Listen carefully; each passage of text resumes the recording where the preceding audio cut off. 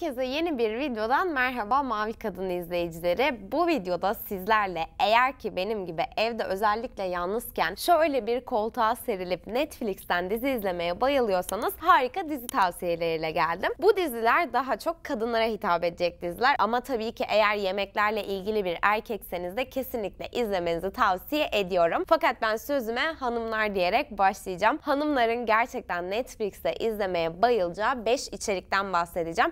İçerikleri izlemek isterseniz de Netflix'e girerek dizilerin adını yazmanız yeterli olacaktır. Hazırsanız ilk içeriğimizle başlayalım. İlk içeriğimiz Glow Up. Kapak fotoğrafından da anlaşılacağı üzere bir makyaj içeriği. Bu içerikte makyaj konusunda artık uzmanlaşmış insanlar çeşitli makyajlar yapıyor. Bunlar dönem makyajları oluyor, çeşitli fantastik makyajlar olabiliyor. Bunları yapıyorlar ve nasıl yaptıklarını, nasıl far paletleri, rujlar kullandıklarını da detaylı bir şekilde içerikte görebiliyorsunuz. Eğer ki makyaj yapmayı seviyorsanız bu konuda bir ilginiz varsa kesinlikle izlemekten keyif alacaksınız. İkinci içeriğimiz Bake Squad. Bake Squad aslında her doğum gününde yediğimiz pastaların, keklerin daha da fantastik hallerinin usta pastacılar tarafından nasıl yapıldığını gösteriyor. Ben kendim bu içeriği izlediğimde şok olmuştum. Çünkü çikolatadan başka şeylere kadar pastada kullandıkları tüm malzemeleri kendileri yapıyorlar. Çok fantastik güzel doğum günü pastaları, evlilik pastaları vesaire üretiyorlar. Eğer ki mutfağa karşı,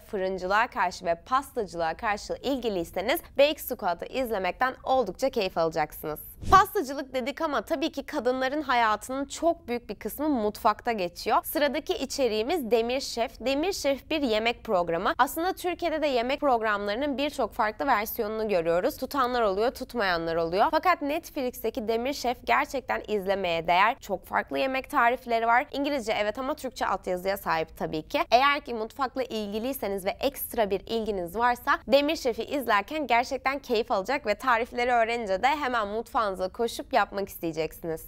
Dördüncü içeriğimize yine mutfaktan devam ediyoruz. Bir önceki çekte bahsettiğim gibi birçok mutfak içeriği var. Fakat Chef's Table biraz farklı. Çünkü aslında ele aldığı konu oldukça çarpıcı. Ünlü bir şef Georgina'daki ırk ayrımı döneminde bulunan bir otobüsün içinde yemekler yapıyor ve güney yemeklerine yeni bir yorum katıyor. Hem yemek yapmayı öğreniyorsunuz, malzemeleri görüyorsunuz, şefi izliyorsunuz ama hem de gerçekten zamanında Georgina'da yaşanan ırk ayrımına da yaptığı yemeklerle dikkat çekiyor.